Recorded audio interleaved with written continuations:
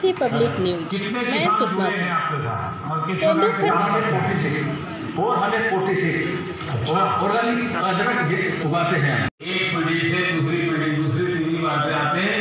ज़मीन के टुकड़े इतने छोटे हो जाते हैं कि किसान के लिए बहुत मुश्किल हो जाता है। आप सब मिलकर एक परिवार पूरी तरह और इतने सालों से आप खेती में हैं। पूरे देश में आज देश के यशस्वी प्रधानमंत्री आदरणीय मोदी जी ने किसानों से संवाद किया और किसानों के बीच में कुछ लोग जो भ्रम की स्थिति पैदा करने की कोशिश कर रहे थे, उस सारे भ्रमों को दूर करने का काम किया। कोई भी मंडी बंद नहीं होने जा रही है। कोई भी कि परचेजर, किसान किसी को भी अपने खेत में, अपने खलिहान में अपने घर पे अपने प्रोडक्ट को बेच सकता है। शुरू से जब से माननीय मोदी जी का शासन आया सत्ताईस 2014 से मोदी जी की ये मंशा थी कि किसानों की आय 2022 तक दुगनी की जाए।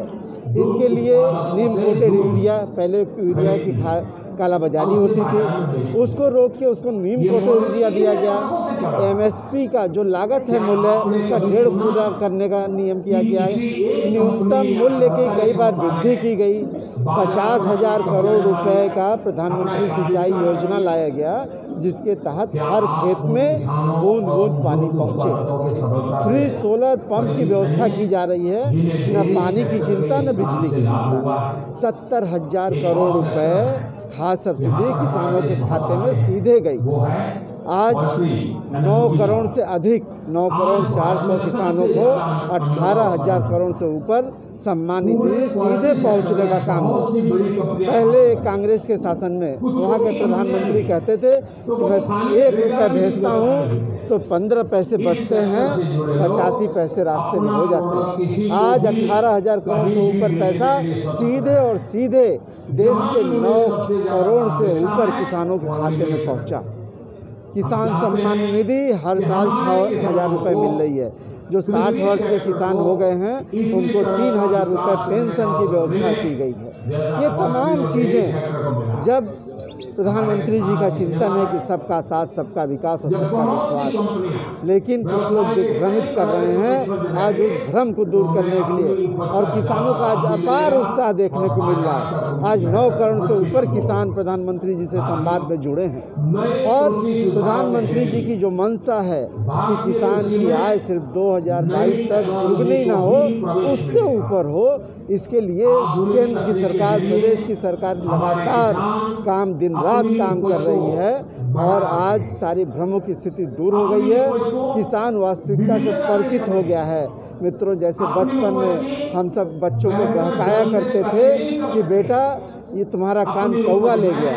और बच्चा कान की तरफ़ कौए की तरफ़ देखता था, अपना कान नहीं देखता था।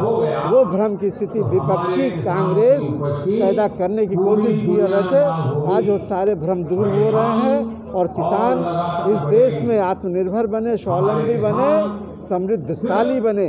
इसके लिए आदरणीय मोदी जी की आदरणीय योगी जी की सरकार काम कर रही है और उस निमित्त गहन चिंतन के साथ सारी योजनाओं का धरातल पर उतार के और उनको समृद्धशाली बनाने का काम केंद्र की सरकार कर रही है। अध्यक्ष जी कहीं ना कहीं से सरकार को वो चीज़ें बता नहीं पाई जिससे विपक्ष को मौका मिला क्या किसानों के हित की बात किसानों को नहीं बता पाए? क्या और जागरूक करने की ज़रूरत है किसानों को इस कानून शोलापुर अभी आप कहाँ आए हैं पहनिया मंडी क्या करते हैं? खेती बाड़ी का काम करते हैं खाली समय में मंडी आते हैं। अच्छा अभी कुछ आप सुन रहे थे कहीं पे क्या सुन हाँ ये मतलब योजना है कृषि का ये ठीक है खाता में आ रहा है दो हज़ार ये अच्छा है।